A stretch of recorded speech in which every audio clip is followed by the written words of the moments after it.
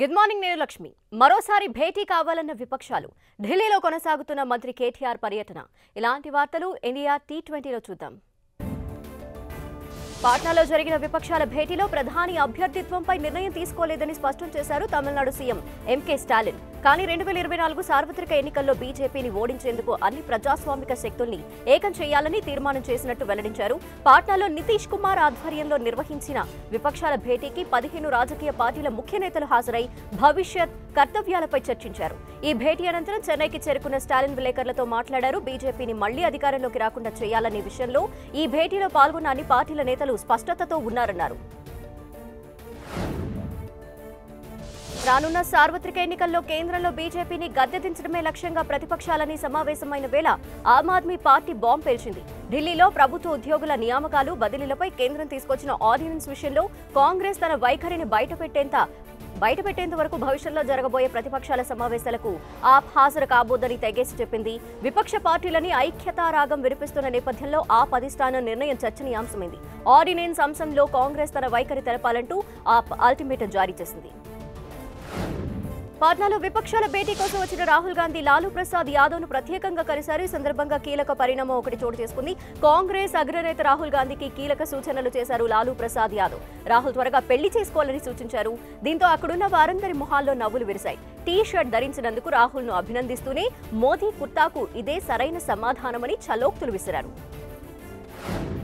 పాట్నాలో జరిగిన విపక్ష పార్టీల భేటీలపై బీజేపీ వ్యంగ్యాస్త్రాలు సంధించింది కేంద్ర హోంమంత్రి అమిత్ షా. విపక్షాలు టార్గెట్గా విమర్శలు సంధించారు విపక్షాలు ఎన్ని ప్రయత్నాలు చేసినా రెండు వేల ఇరవై నాలుగులో అధికారంలోకి వచ్చేది తామేనన్నారు.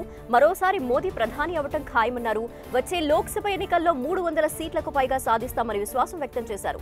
విపక్షాల ప్రయత్నాలు ఫలించబోవని తామే మరోసారి అధికారంలోకి రావటం పక్కా అన్నారు అమిత్ షా.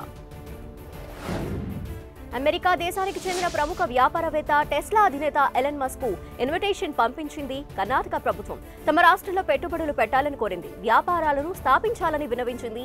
పెట్టుబడులకు కర్ణాటక ఆదర్శ గమ్యస్థానమని తెలిపింది. వాణిజ్యం పరిశ్రమల మంత్రి ఎంబీ పాటిల్ ఈ మేరకు ఓ ట్వీట్ చేశారు. తెలంగాణ ఐటీ మంత్రి కేటీఆర్ ఢిల్లీ పర్యటన కొనసాగుతోంది. ఇవాళ ఆయన కేంద్ర హోంశాఖ మంత్రి అమిత్ షా పట్టణాభివృద్ధి శాఖ మంత్రి హర్దీప్ సింగ్ పూరీలను కలవనున్నారు. మె- మెట్రో రెండో దశ పనులకు కేంద్రం సాయం చేయాలని కేటీఆర్ కోరనున్నారు. మరోవైపు రసూల్పుర వద్ద నాలుగు ఎకరాల హోంశాఖ భూమి రాష్ట్ర ప్రభుత్వానికి బదలాయింపుపై అమిత్ షాతో కేటీఆర్ చర్చించనున్నారు. అనంతరం హర్దీప్ సింగ్ పూరితో సమావేశమై లగ్డి కపుల్ బీహెచ్ఎల్ నాగోల్ ఎల్బీ నగర్ వరకు మెట్రో రైల్ ఏర్పాటు పటాన్చెరు నుంచి హయత్ నగర్ వరకు మెట్రో విస్తరణపై చర్చిస్తారు. భారీ వర్షాలతో అస్సాం అతలాకుతలం చేస్తున్నాయి. వరద ప్రభావంతో పదహారు జిల్లాల్లో నాలుగు పాయింట్ ఎనిమిది ఎనిమిది లక్షల మంది ప్రజలకు ఇబ్బందులు కలుగుతున్నాయి.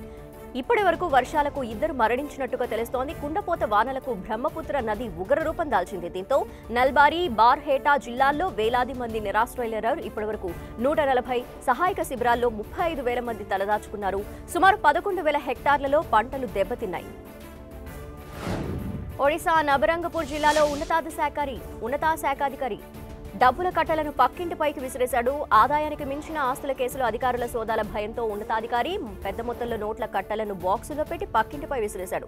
ఇది గుర్తించిన అధికారులు దాదాపు రెండు కోట్లకు పైగా విలువైన నగదును స్వాధీనం చేసుకున్నారు. అదనపు సబ్ కలెక్టర్ ప్రశాంత్ కుమార్ రౌత్ పై ఆదాయానికి మించిన ఆస్తులు కలిగి ఉన్నారనే ఆరోపణలున్నాయి విజిలెన్స్ అధికారులు కూడా రంగంలోకి దిగారు. భువనేశ్వర్లోని ఆయన ఇంట్లో సోదాలు మొదలుపెట్టారు. దీంతో ఆయన ఆరు బాక్సుల్లో నగదు నింపి పక్కింటి టెర్రస్ పై విసిరేశారు. బీజేపీపై సెటారికల్ కామెంట్స్ చేశారు ఆర్జేడీ అధ్యక్షుడు లాలూ ప్రసాద్ యాదవ్. హనుమంతుడు తన గదతో బీజేపీని మట్టి కరిపించాడని కర్ణాటకలో రాహుల్ని గెలిపించాడన్నారు. హనుమంతుడు ప్రతిపక్షంతోనే ఉన్నాడని తెలిపారు. రాబోయే ఎన్నికల్లోనూ బీజేపీకి ఓటమి తప్పదన్నారు. అలాగే తాను ఇప్పుడు పూర్తిగా ఫిట్గా ఉన్నానని మోదీని కూడా ఫిట్ చేస్తానంటూ కామెంట్ చేశారు. విపక్షాలతో పాటు రాహుల్ గాంధీపై పోస్టర్లు వేశారు బీజేపీ నేతలు. రాహుల్ గాంధీని అసలు దేవదాసుగా అభివర్ణిస్తూ ఫ్లెక్సీలు ఏర్పాటు చేశారు. బీహార్ బీజేపీ ఆఫీస్ ఎదురుగా ప్రతిపక్షాల మీటింగ్ను ఉద్దేశించి ఫ్లెక్సీలను పెట్టారు. విపక్ష నేతలంతా రాష్ట్రాలను వదిలేయాలని రాహుల్కు చెప్తున్నారని మూకుమ్మడిగా కాంగ్రెస్ను రాజకీయాలు వదిలేయాలని చెప్తున్నారంటూ సెటార్లు వేశారు. మధ్యప్రదేశ్లో కాంగ్రెస్ సీనియర్ నేత మాజీ ముఖ్యమంత్రి కమల్నాథ్ టార్గెట్గా వాంటెడ్ కరప్షన్ నాథ్ అంటూ భోపాల్లో పోస్టర్స్ ప్రత్యక్షమయ్యాయి. మహాకాల్లో కారిడార్ ప్రాజెక్టుపై కమల్నాథ్ ఇటీవల అవినీతి ఆరోపణలు చేసిన చేయడంతో పోస్టర్స్ల వార్ మొదలైంది. పాట్నాలో ప్రతిపక్ష నేతల మీటింగ్ పై ప్రశ్నలు సంధించారు ఏఐఎంఐఎం అధినేత అసదుద్దీన్ ఓవైసీ. ఆ మీటింగ్లో పాల్గొన్న వారి ట్రాక్ రికార్డ్ ఏంటని ప్రశ్నించారు. ఈ సమావేశానికి హాజరైన శివసేన సెక్యులర్ పార్టీనా అని నిలదీశారు. అలాగే కేజ్రీవాల్ కేంద్రం తీసుకొచ్చిన ఆర్టికల్ త్రీ సెవెంటీకి మద్దతు తెలిపిన విషయాన్ని గుర్తు చేశారు. ఇలాంటి వారు మోదీకి వ్యతిరేకంగా పోరాడతారా అని ప్రశ్నించారు. పెట్రోల్ డీజిల్ ధర తగ్గింపులకు సంబంధించి వినియోగదారులకు త్వరలో శుభవార్త అందనుంది. కొద్ది నెలల్లో ఇంధన ధరలు భారీగా తగ్గే అవకాశం ఉంది. నవంబర్ డిసెంబర్ నుండి జరిగే కీలక రాష్ట్రాల ఎన్నికల దృష్ట్యా చమురు మార్కెట్ కంపెనీలు ఆగస్టు నుండి పెట్రోల్ డీజిల్ ధరలను లీటర్కు ఐదు రూపాయల వరకు తగ్గించొచ్చని తెలుస్తోంది. ఛత్తీస్గఢ్లో మావోయిస్టులు మెరుపు దాడి చేశారు. బీజాపూర్ జిల్లా గంగలూరు పరిధి హీరేలీలో పోలీసుల శిబిరంపై రాకెట్ లాంచర్లతో దాడికి పాల్పడ్డారు. దీంతో పోలీసులు అప్రమత్తమయ్యారు. ఈ క్రమంలో మావోయిస్టులు పోలీసులు మధ్య ఎదురు కాల్పులు జరిగాయి. పోలీసుల కాల్పులు జరపడంతో మావోయిస్టులు పరారయ్యారు.